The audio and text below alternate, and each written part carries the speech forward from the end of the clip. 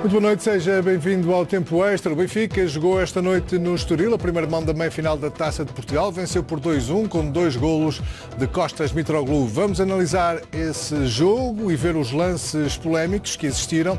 Benfica que foi ao Conselho de Arbitragem denunciar vários lances em que terá sido prejudicado e também alegar a existência de coação sobre os árbitros. Acusação eh, que, de resto, o Futebol Clube do Porto também faz ao Benfica. Estamos a quatro dias das eleições do Sporting, Pedro Madeira Rodrigues apresentou hoje Juan de Ramos como treinador que vai suceder a Jorge Jesus em Alvalade, caso vença as eleições a Bruno de Carvalho.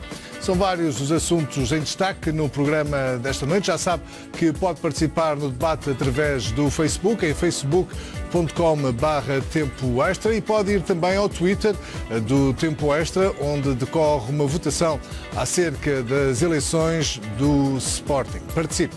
Vamos ao televoto desta semana. Quem é o melhor uh, para uh, treinador do Sporting? Eh, se considera que é Juan de Ramos, liga o 760 300 521. Se acredita que é Jorge Jesus, marca o 760 300 522. O custo de cada chamada é de 60 cêntimos mais IVA. Começamos o programa desta noite com a análise ao Estoril 1, Benfica 2. Rui Santos, muito boa noite. Boa noite, João. Rui Vitória disse no final do jogo que foi um jogo de sentido único. Concordas? Não, em absoluto não concordo. Concordo que o Benfica na segunda parte fez um jogo mais positivo em relação à primeira parte. Foi a equipa que procurou mais o gol e tinha a obrigação disso. O Benfica pertence a um outro campeonato, eh, naturalmente, e tem a ambição de ganhar esta Taça de Portugal. Um, percebi que o, que o Benfica encontrou algumas dificuldades porque o Estoril deu uma excelente uh, réplica e isso teve muito a ver com a leitura que, que o Estoril fez uh, desta equipa do Benfica. Como é que o Estoril consegue, de alguma maneira, eh, contestar a maior superioridade do Benfica. Eh, claramente, ehm, com um meio campo que eu acho que esteve muito bem, com o Diogo Amado e o Eduardo, eh, que fizeram uma dupla de médios centros muito boa. Estes dois jogadores tentaram naturalmente ehm, bloquear aquilo que é a zona criativa e explosiva uh, do Benfica. Eu acho que esse foi o grande segredo. Uh, o Benfica tem uh, na zona central neste momento um problema que não está resolvido em função da perda de, de ritmo de, de, de que aliás hoje não, não é titular e portanto joga com Samaris e Filipe Augusto na, na zona central, mas com esta dupla a também não dar grande conta do, do recado, e com uh, Diogo Amado e Eduardo, pelo contrário, a jogar bem, conseguiram, digamos, estancar aquilo que é a zona criativa e explosiva do Benfica. Uh, quem é que são os protagonistas dessa zona criativa e explosiva? São Zivkovic, um, ehm, o, o, Carrilho uh, e, uh, como se sabe, o Rafa, que jogam por trás, digamos, do, do ponta de lança, com uma grande versatilidade, com uma grande criatividade, simplesmente é verdade que Zivkovic esteve muito bem, do meu ponto de vista é, é, um jogador muito interessante e que está a ganhar, a criar raízes na equipa titular do Benfica, mas Rafa esteve muito infeliz na cara do, do guarda-redes uh, por duas vezes e no começo do jogo podia ter concretizado uma bola relativamente fácil, não esteve, não esteve feliz e o Carrilho nos primeiros 20 minutos foi praticamente um zero. Um, não apareceu no jogo, uh, se Rafa foi infeliz, a verdade é que, que teve muito jogo uh, e procurou esse jogo. O Carrilho muito, muito fora desta, desta partida. Portanto, volta um bocadinho àquele registro do, do Carrilho, pisca-pisca, ora acende, ora apaga, mas tem estado mais vezes apagado uh, nesta, nesta equipa do Benfica. Portanto, em termos globais, eu acho que a nota fundamental, crescimento da equipa do Estoril, muito bem do ponto de vista tático, com uma entrada no jogo muito forte, também com uma, com uma, uma, uma, estratégia que tinha a ver com a redução dos espaços dos jogadores do Benfica. Aquele trio que eu falei que joga atrás do Mitroglou teve muito pouco espaço para jogar e isso correspondeu, digamos, a uma pressão alta da equipa do Estoril, que pressionou muito o portador da bola de, do Benfica, só que, como acontece a miúdo no, no futebol, uma exigência tão grande do ponto de vista físico, os jogadores acabam por pagar um pouco a fatura. E na segunda parte, viu-se um Estoril na mesma muito boliçoso, muito lutador, mas com menos, menos carga, com menos pilhas, digamos assim, Uh, e aí o Benfica foi, foi mais forte. Agora é um jogo que temos que dizer que fica marcado, marcado, marcado. também pela, pela, arbitragem. pela arbitragem. Portanto, neste caso concreto, o Benfica ganha esta partida e coloca-se numa posição muito boa em termos de eliminatórias. Estamos a falar uma eliminatória a duas mãos e, portanto, um resultado 2-1 em casa do adversário é um bom resultado, é um excelente resultado quando estamos a falar em duas mãos. Portanto, o Benfica tem, digamos, construiu um resultado que é bom para, para a segunda mão e para chegar à final. Uh, mas evidentemente não podemos deixar passar aquilo que é um erro claro de um, de um, do segundo gol, portanto o Benfica constrói esta, esta mas, vitória. Rui, vamos por partes, vamos olhar para, para os lances de forma individual, Sim. olhamos para o primeiro golo do Benfica, o, o golo Aqui ficou de, de na dúvida, a dúvida se o golo era regular ou não em função de um alegado fora de jogo. Uhum.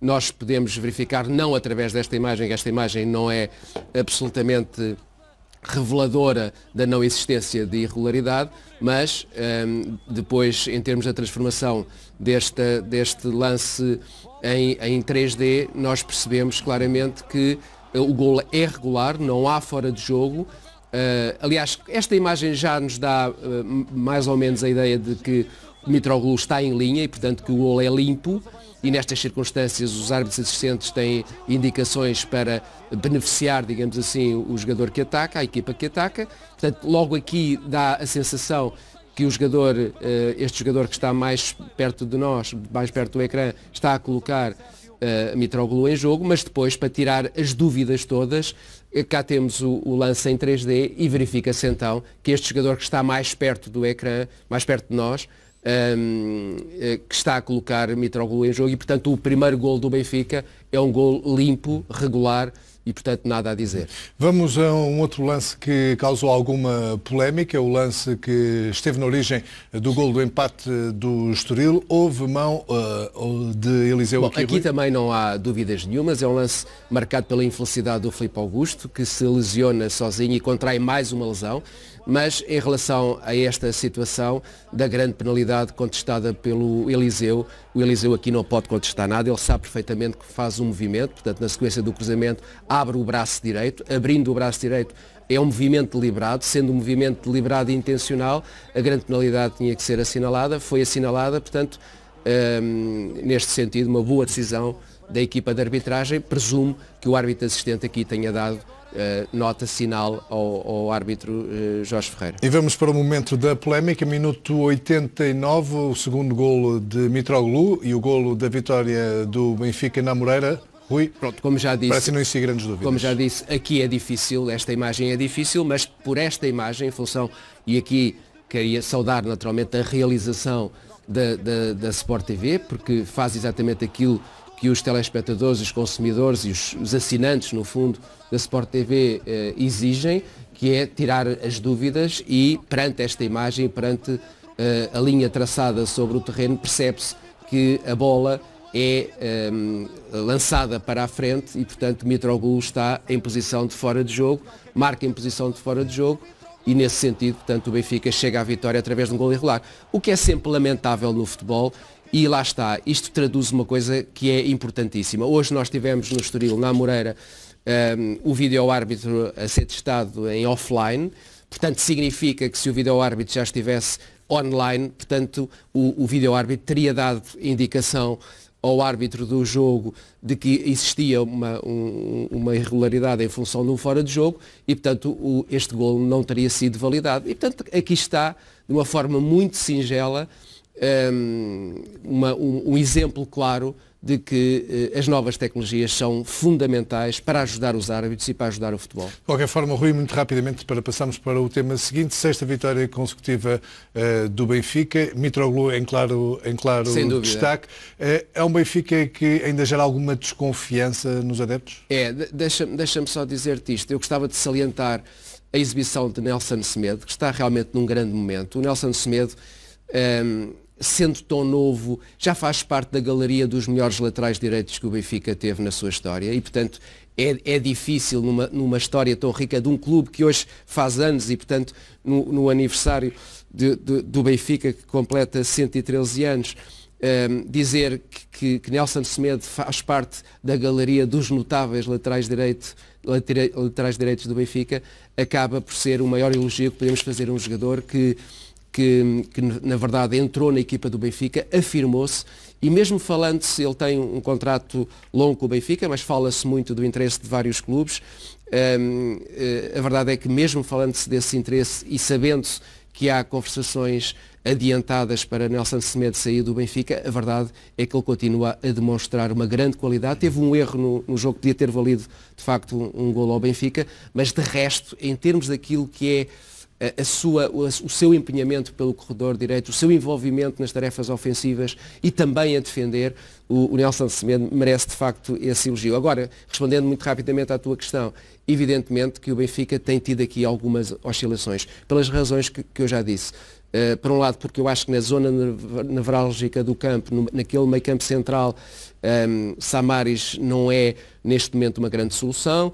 Pizzi está, está em baixa, aliás, Rui Vitória percebendo isso está a tentar uh, poupar Pizzi, portanto ele só entra hoje porque o Felipe Augusto se lesiona.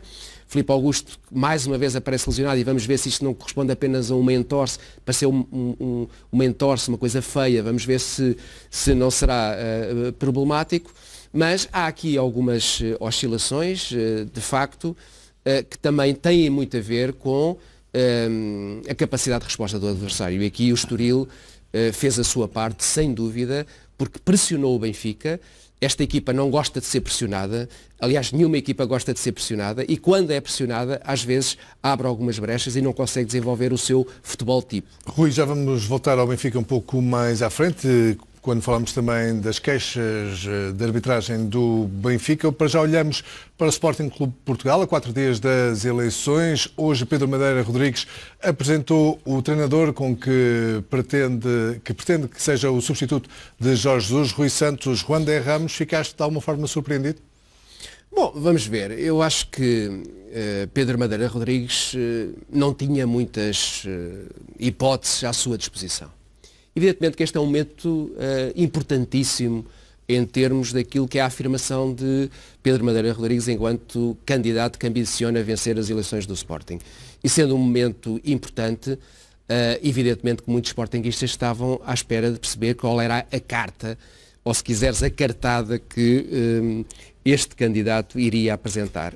É, era fundamental. fundamental. E, e, como é que classificas essa eu, cartada? Eu acho que Juan de Ramos é um bom treinador já demonstrou uh, ser um bom treinador, que, que aliás eh, já passou por várias equipas de, enfim, de, de, grande categoria. Estamos a falar do Sevilha, do Tottenham, do próprio Real Madrid, mas é, é também verdade que eh, a partir da passagem uh, pelo Real Madrid, que o Juan de Ramos está numa fase um pouco descendente. Portanto, ele esteve ali na, por altura 2005, 2006, 2006, 2007 com o Sevilha, o seu, o seu ponto mais alto, em que colocou, de facto, eu acho que ele teve muito, muito relevo na afirmação do Sevilha no espaço europeu. A partir desse momento, dessas conquistas, o Sevilha passou a ser protagonista da própria Liga Europa.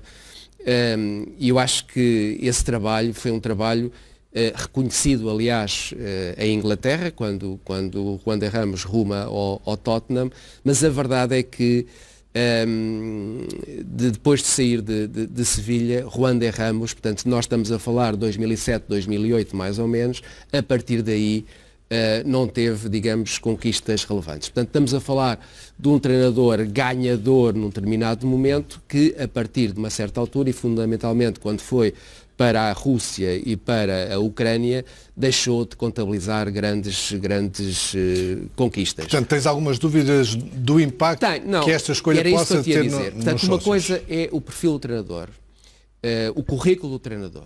E desse ponto de vista é um treinador, uh, enfim, de, de, de, alguma nomeada, que já fez alguma coisa no futebol espanhol e no futebol europeu.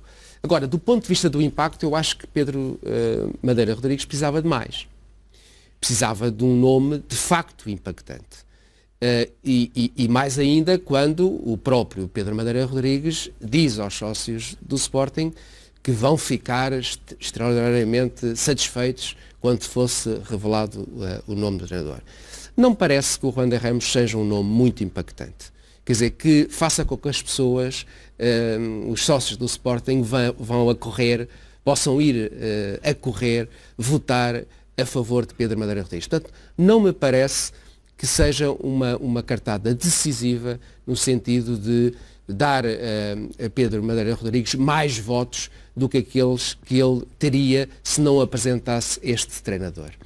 E, portanto, desse ponto de vista... Mas agora, Rui, podemos também fazer aqui um comparativo destes, Sim, destes portanto, dois treinadores que, que, é que, curiosamente, têm a mesma idade. Claro, e, e, e, neste momento o que é que as pessoas, os sócios do Sporting estão a pensar?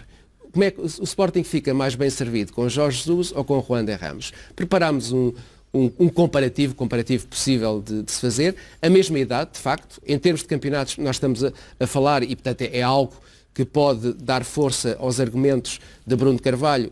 O Juan de Ramos, de facto, nunca ganhou um campeonato e, portanto, não é um grande cartão de visita desse ponto de vista.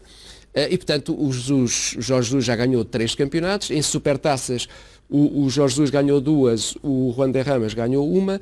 Em termos de taças, naturalmente, uma de, de, de Portugal e outra do Rei, uma, uma para cada lado. Taças da Liga, 5-1, portanto, uma vantagem para Jorge Jesus. E depois, em matéria de títulos europeus, sabendo que uh, Jorge Jesus teve duas finais da Liga Europa. Duas finais da Liga Europa, a verdade é que Juan de Ramos ganhou duas Ligas Europas, uh, uma supertaça uh, europeia, ao serviço também do, do Sevilha e em termos de, de, jogos nós estamos a ver ali mais ou menos, não há grandes diferenças em termos de jogos oficiais, 551, 527, mas uma, uma percentagem maior de vitórias por parte de Jorge Jesus. Portanto, deste ponto de vista, eu acho que Juan de Ramos não é um grande argumento para uh, desmantelar a ideia de que um, Jorge Jesus já era. No sentido de um, os sócios são muito sensíveis a estes argumentos dos treinadores e dos jogadores. Mas, mas, de qualquer forma, Rui, e olhando para a campanha em si, consideras que o, o debate que existiu na Sporting TV de alguma forma uh, deu mais algum calor a esta luta eleitoral? Uh, colocou é. uh, Pedro Madeira Rodrigues de alguma forma mais no, no olho do furacão? Não, isso, isso sem dúvida nenhuma. Vamos ver. Eu acho que o debate foi um debate de alguma maneira surpreendente. Porquê? Porque eu acho que uh, Bruno Carvalho tentou jogar no campo de Pedro Madeira Rodrigues e Pedro Madeira Rodrigues tentou jogar no campo de Bruno Carvalho. O que eu quero dizer com isto? Eu não vejo Bruno Carvalho como uh, um, um, um, presidente institucionalista. Uh, e, ve, e, vejo, ouvia Pedro Madeira Rodrigues, de alguma maneira, como alguém que contesta o facto de Bruno de Carvalho não ser esse presidente institucionalista. Inverteram-se os papéis. E, portanto, eu acho que neste debate, claramente, inverteram-se os papéis. Porquê?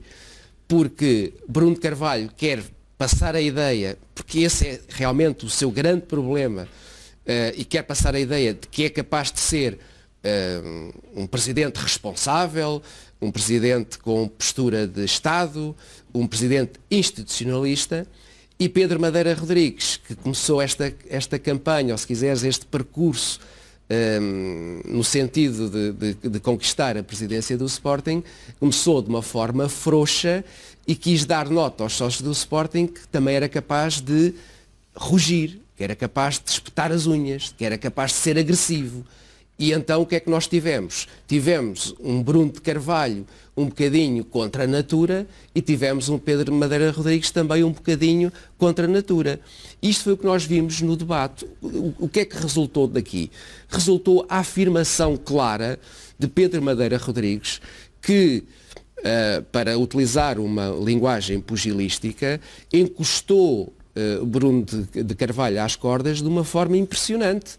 Quer dizer, uh, Pedro Madeira Rodrigues preparou-se muito bem para o debate, sem dúvida e preparou-se no sentido de tentar demonstrar as fragilidades de Bruno Carvalho. E Bruno Carvalho, perante isso, ficou surpreendido, ficou tolhido nos seus movimentos. E, portanto, ele ia com uma estratégia clara de ser institucionalista, mas não sabia exatamente qual era, ia ser a postura do seu antagonista, do seu adversário. E então, com essa predisposição de ser institucionalista, surpreendido com a agressividade do seu adversário, ficou absolutamente atónito. E, portanto, a grande surpresa do debate foi exatamente essa, de um Bruno Carvalho que construiu uma imagem de ser um líder, de ser uh, uma figura acutilante. E que não uma deixa, figura que não tem medo de ninguém e vai à luta não, não com toda a gente. Resposta, é? E que não deixa ninguém sem resposta. O que é que aconteceu? Bruno Carvalho, em muitas circunstâncias, ficou, aliás, do ponto de vista daquilo que foi uh, a, sua, a sua postura corporal, uh, viu-se claramente que ele estava surpreendido e que estava tolhido um, com agressividade e com a acutilância do próprio Pedro Madeira Rodrigues. Portanto, eu diria que se a vitória nas eleições dependesse daquele debate, deste debate, Pedro Madeira Rodrigues tinha, tinha ganho. Um, mas eu creio que na, uh, digamos, no pensamento dos sócios leoninos, e nós temos que colocar sempre isto em perspectiva eh, não tanto relativamente ao impacto positivo ou negativo que ambos os candidatos podem uh, desenvolver perante a opinião pública. Aqui o que interessa claramente nem sequer é, é toda a opinião pública leonina, é uh, o conjunto de sócios que vão efetivamente votar no sábado em Alvalade. E, portanto, desse ponto de vista, o que eu digo é que este debate não vai ser eh, decisivo, ao contrário do que se podia pensar, não vai ser decisivo para se, para se achar o vencedor destas eleições. Rui, e relativamente à gravação que surgiu, ao vídeo que surgiu no, de uma conversa entre José Maria Ricciardi e Sikander Sattar, uh, antigo vogal do Conselho Fiscal, uh, uh, este surgimento deste vídeo suscitou alguma polémica. Como é que interpretas? Richard alega que é de 2013 o vídeo. Como é que interpretas esta, esta polémica eh, em pleno processo eleitoral? Bom, vamos ver. Um, o vídeo, ninguém tem dúvidas nenhuma, já está absolutamente identificado do ponto de vista temporal, foi em, em, em 2013. Um, e parece-me claro que eh, Pedro Madeira Rodrigues o que quis fazer foi colar Bruno de Carvalho uh, à figura de José Maria Ricciardi, que foi sempre observado como o homem sombra do Sporting. Portanto, José Maria Ricciardi, de facto, uh, teve sempre uma prevalência muito grande nas uh, diversas uh, últimas presidências do Sporting. Foi uma figura, um, em termos de, de, de, de contactos, de, relações, esteve sempre muito próximo daquilo que foram as gestões uh, do Sporting uh, dos últimos anos.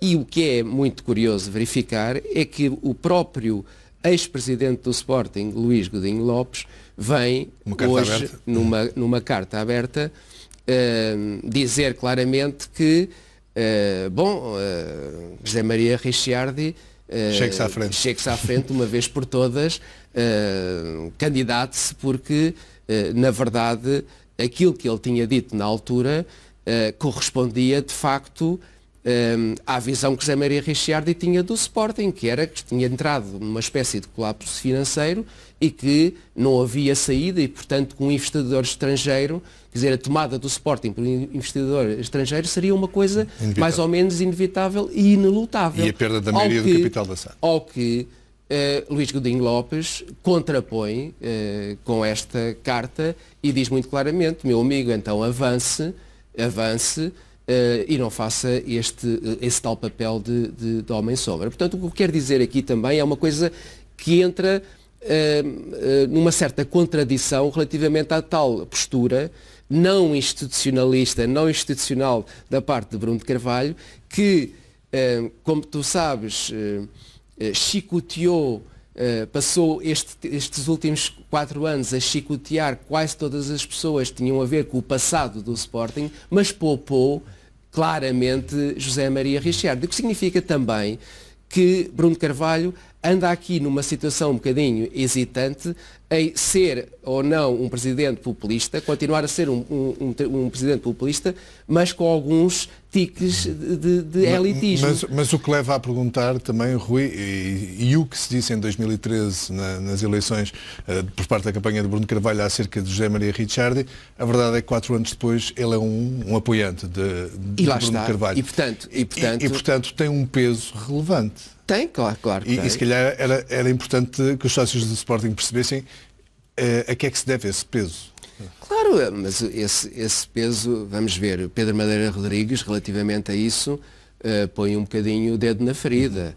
Uh, quando diz que José Maria Richiardi, relativamente ao BES, também tinha tido palavras muito elogiosas que não se passava nada, e a verdade é que se passou, como toda a gente sabe, um, e, e, e, isso foi uma forma de uh, Pedro Madeira Rodrigues, de alguma maneira, conseguir uh, tu, uh, visar Bruno de Carvalho e tocar numa das suas feridas, porque, na verdade, nesta campanha e nos últimos tempos, assumou a figura de José Maria Ricciardi e, portanto, Pedro Madeira Rodrigues entendeu que essa era uma forma de fragilizar o próprio Bruno de Carvalho. Agora, deixa-me dizer também que um, há aqui uma questão que me parece relevante, que é uh, a questão da uh, Oldimo, como tu sabes que é um parceiro importante neste momento na SAD do Sporting. E o apoio declarado. Com, com uma participação na ordem dos, dos 30%, e portanto já estamos a falar aqui de uma posição relevante.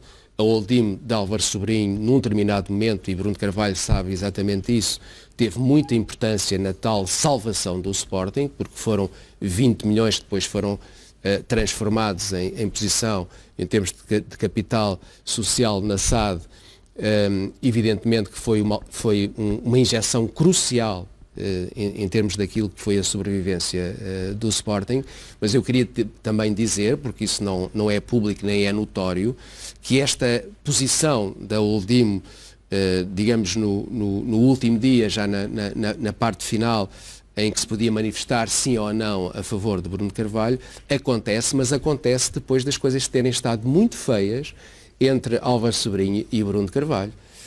Um, houve um tempo, houve um tempo, e é bom que os sportinguistas saibam isso, que um, ehm, Álvaro Sobrinho e Bruno Carvalho, e estamos a falar numa situação relativamente recente, nem sequer se falavam. E, portanto, a Oldimo e, e, e na, na, figura de Álvaro Sobrinho e, a, e Bruno de Carvalho eh, estiveram de costas voltadas, inclusivamente houve a possibilidade, houve a possibilidade de eh, a Oldimo poder apoiar um outro candidato. As coisas, entretanto, eh, desenvolveram-se noutro sentido.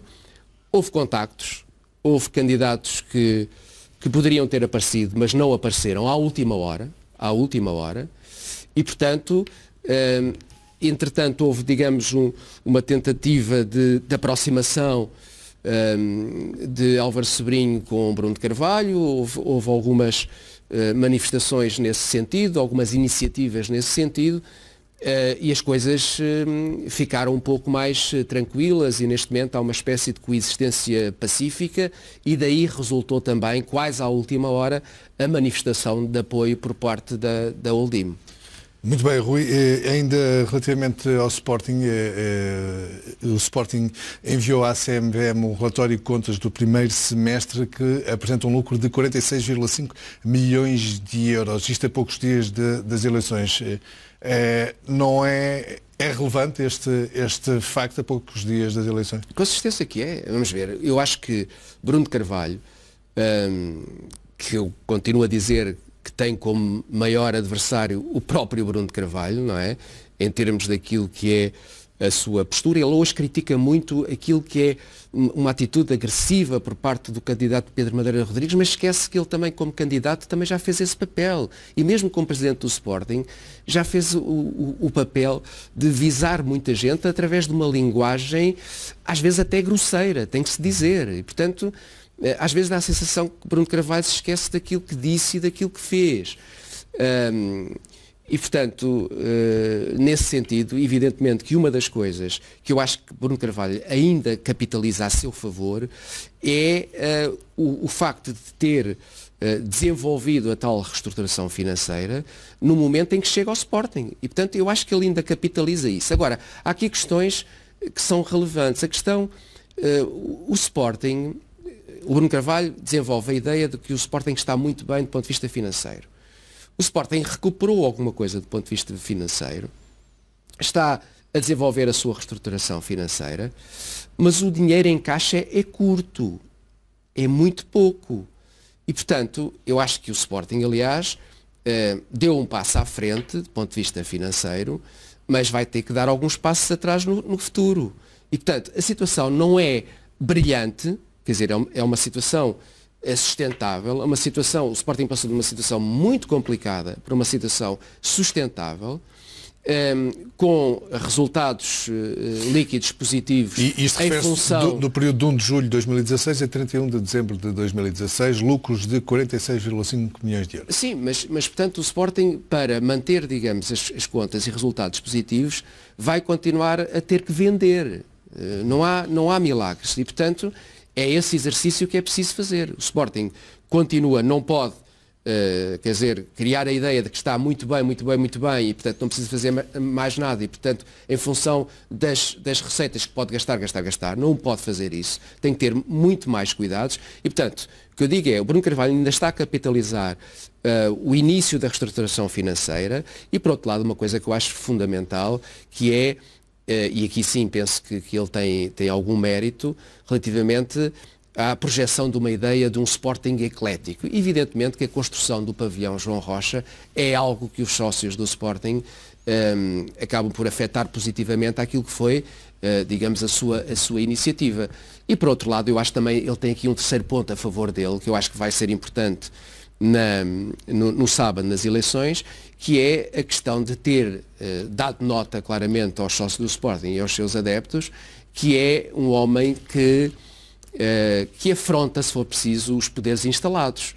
E, e os sportinguistas gostam disso, não gostam de um, de um leão de um leão manso, de um leão domesticado, gostam de um leão com as, com, as, com as garras soltas, embora do meu ponto de vista houve bastantes excessos, bastantes exageros, e há uma coisa que é muito importante e que os protagonistas do futebol têm que se habituar a, eh, a perceber que isso afeta positiva ou negativamente um, a, a, opinião pública, que é quando falam verdade e quando não falam verdade ou quando fazem de conta em relação a muitas matérias. Está então a ferver uh, o termómetro de Bruno de Carvalho relativamente entendo, a estas eleições entendo, e também uh, a ferver o, entendo, o, de Pedro Madeira eu, Rodrigues. Eu entendo que realmente passámos aqui de uma situação em que Pedro Madeira Rodrigues iniciámos, digamos, este, este ensaio do, do termómetro eleições com uh, Pedro Madeira Rodrigues no, no, frio, agora está a ferver, porque ele, ele sentiu claramente, e foi estratégico, sentiu claramente que tinha uh, terreno a recuperar.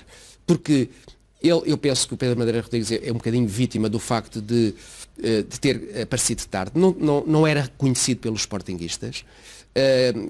começou tarde, cometeu alguns erros, cometeu alguns erros. Aliás, queria dizer que acho que há aqui uma coisa que o vai penalizar muito, que foi um, um direto que foi transmitido por uma, uma, uma, uma, televisão, penso que foi a TVI, em que mostra claramente um diálogo entre eh, Pedro Madeira Rodrigues e um, um adepto eh, do Sporting, eh, com, uma, com uma linguagem e com uma postura, eh, lá está, muito próxima daquilo que se critica em Bruno de Carvalho. Eu acho que isso foi muito mau, é um, foi um tiro no pé eh, enorme e, portanto, eh, em resumo, em resumo, eu acho que como eu dizia há pouco, mesmo sendo o principal adversário de si próprio, Bruno de Carvalho, eu acho que vai ganhar, não com uma, com uma margem tão expressiva como no início uh, se podia supor, uh, e, e, realmente julgo que aqueles três pontos que eu sublinhei há pouco serão suficientes para, de alguma maneira, vencer estas eleições, sendo certo, no entanto, que o Pedro Madeira Rodrigues deu aqui um passo importante no sentido de criar um certo lastro, ocupar, digamos, um espaço do ponto de vista, se se quiser, de uma certa oposição uh, a Bruno de Carvalho. Também é verdade que Bruno Carvalho disse duas coisas importantes. Uma é que se fosse presidente eh, deixaria de ser se ao fim de quatro anos não conseguisse ganhar o título.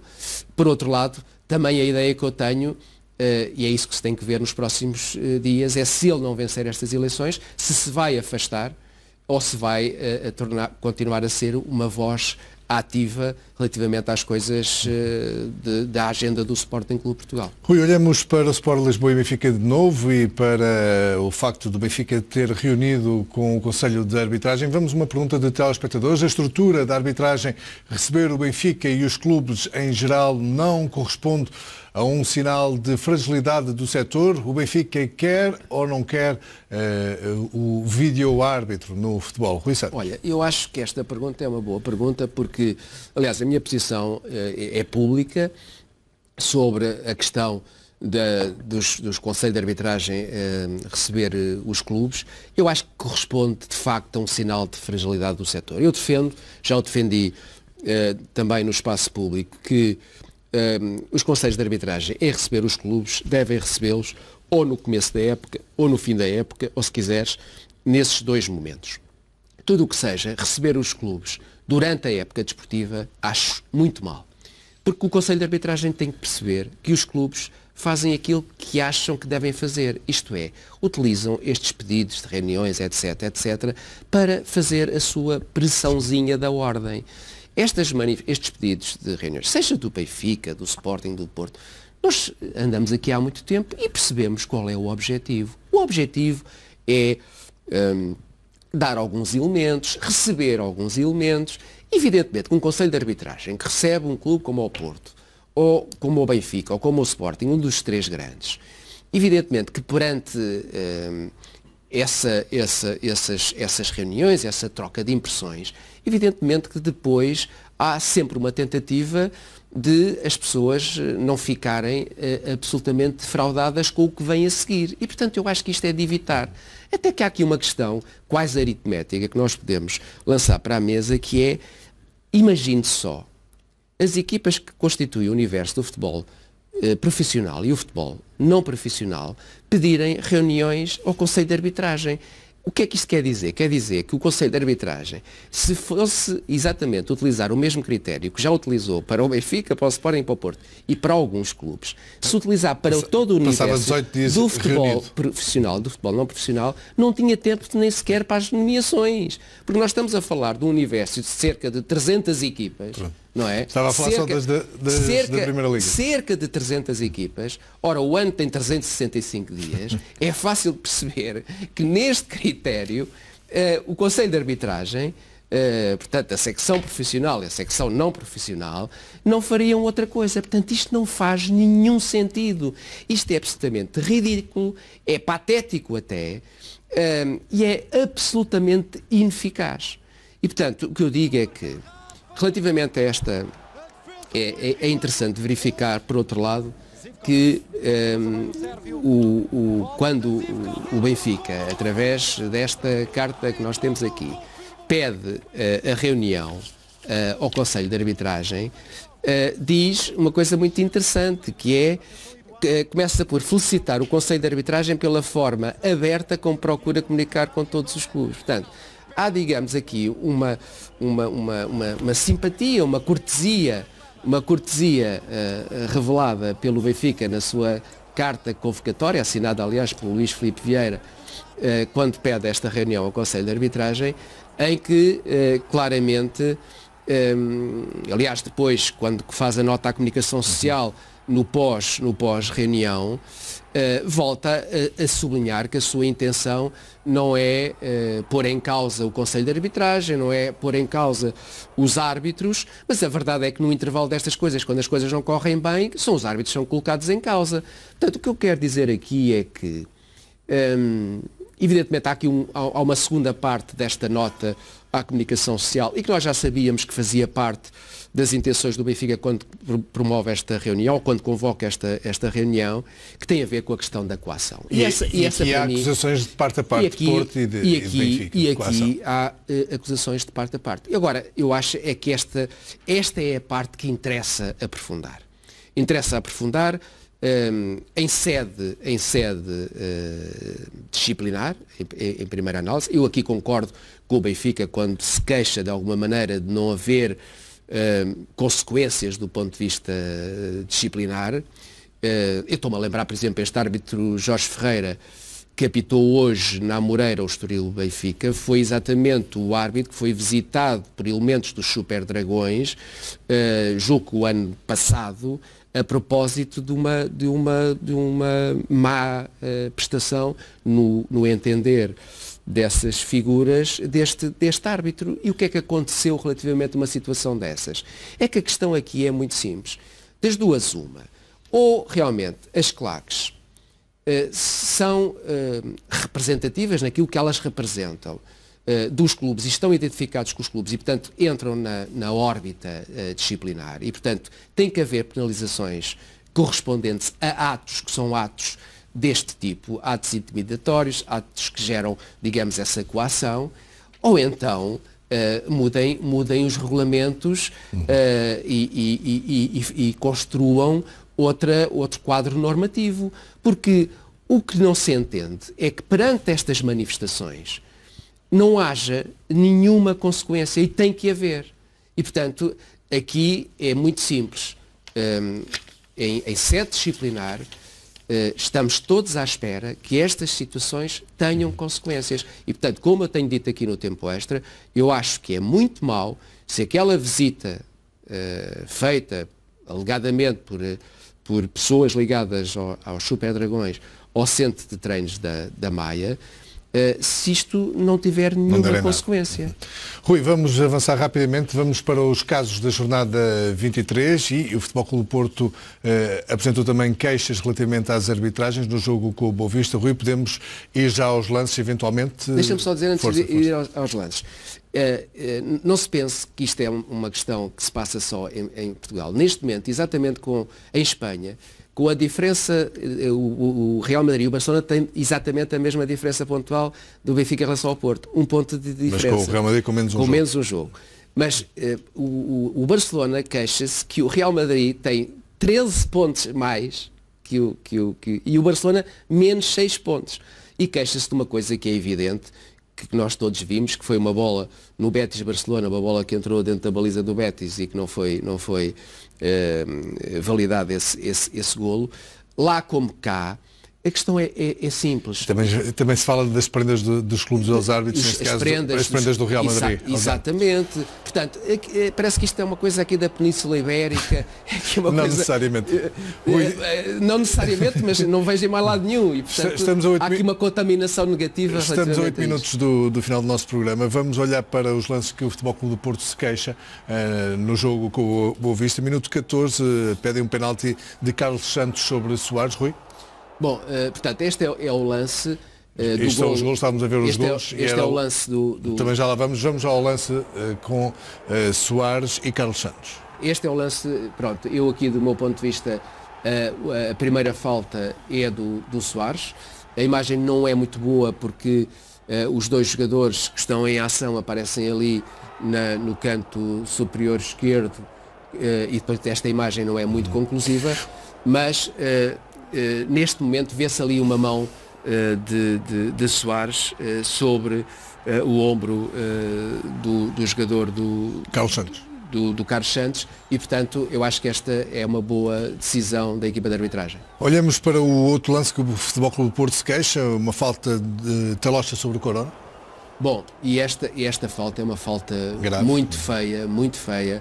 Isto é, é, é muito perigosa e, portanto, aqui ficou Uh, por exibir um cartão vermelho ao jogador Talocha. Aliás, o, o Corona acabou por sair uh, lesionado desta, desta situação. Deve os árbitros não podem de maneira nenhuma consentir.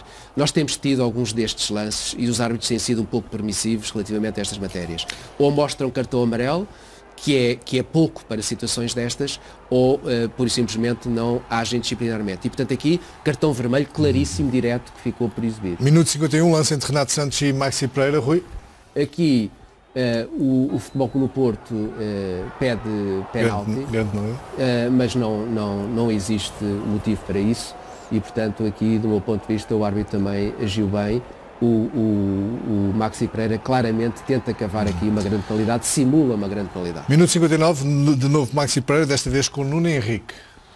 Bom, e, e aqui a mesma coisa. Eu acho que aqui uh, o Maxi Pereira tenta. E viu o cartão amarelo por cima Claramente. E eu acho que aqui houve divergências do ponto de vista da análise, mas eu acho também quando o Maxi Pereira percebe claramente que não consegue ganhar o lance e, e, e há um contacto, atira-se para o chão e eu aqui uh, acho que o árbitro também agiu bem ao mostrar o cartão amarelo. Minuto 93, falta de Anderson sobre Alex Teles, Rui.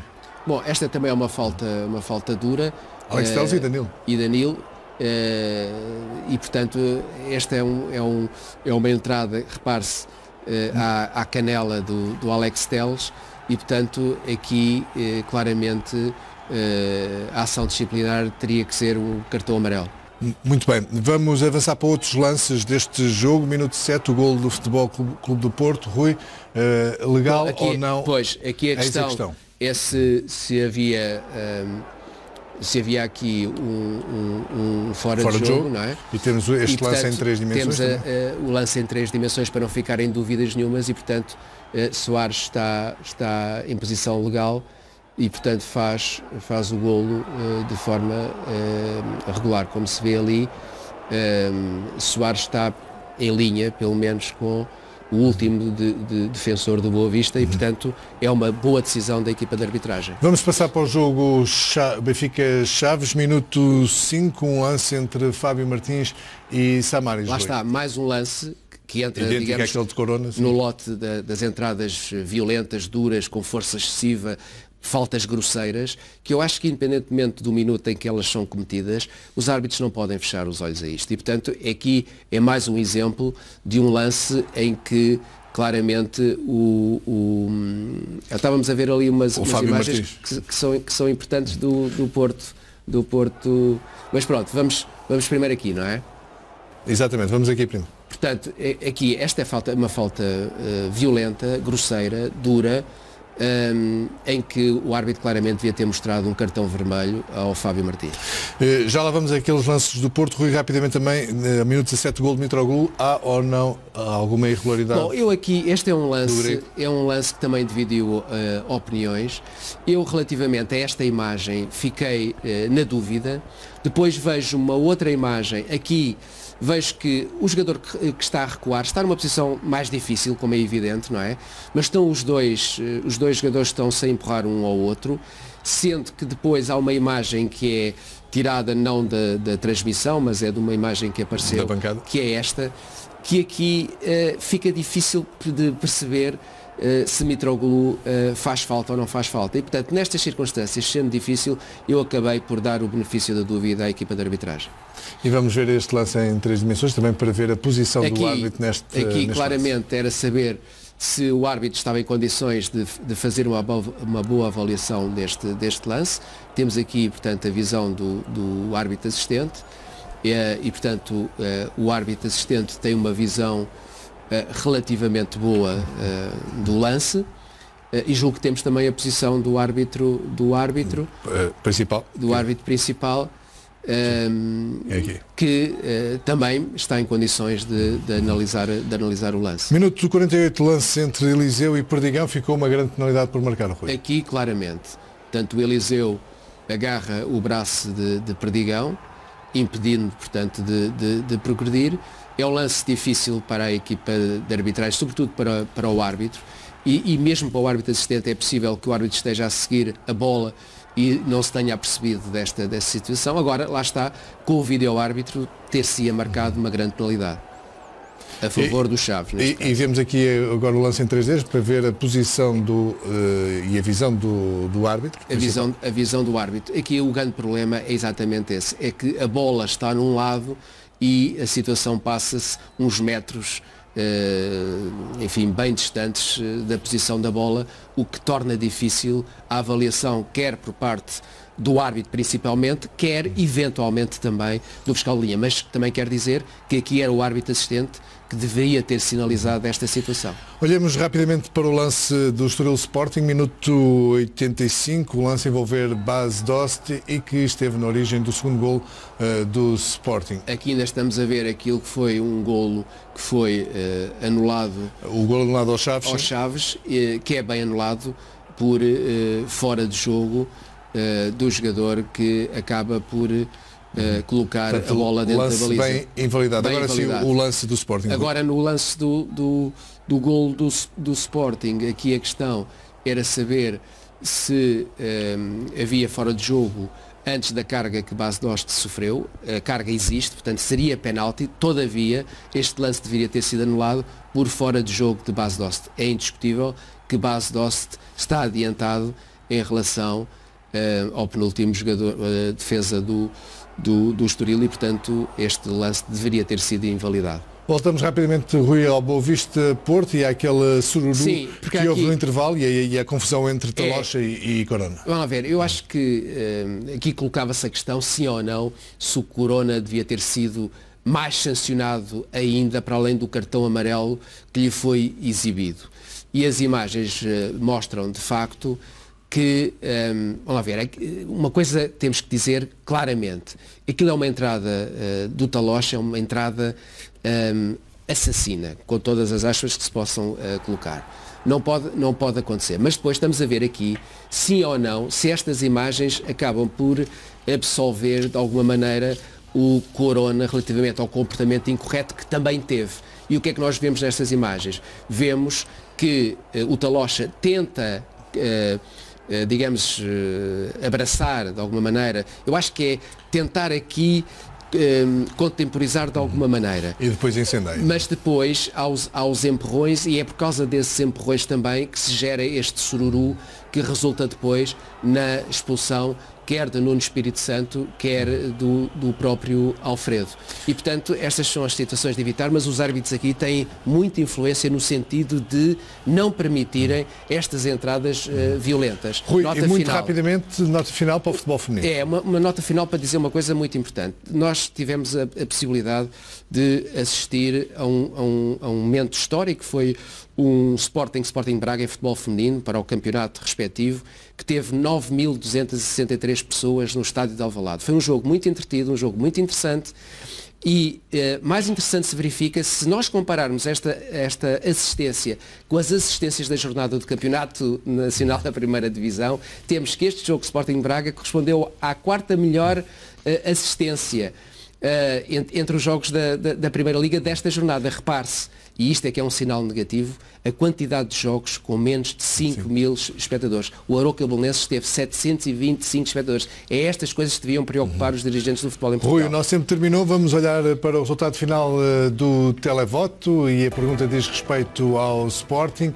Eh, quem é melhor para treinador do Sporting? Ora, 73% considera que é Jorge Jesus, 27% considera que é Juan de Ramos. Foi o tempo extra. Fique com o cartoon desta semana do Carlos Laranjeira. Boa noite.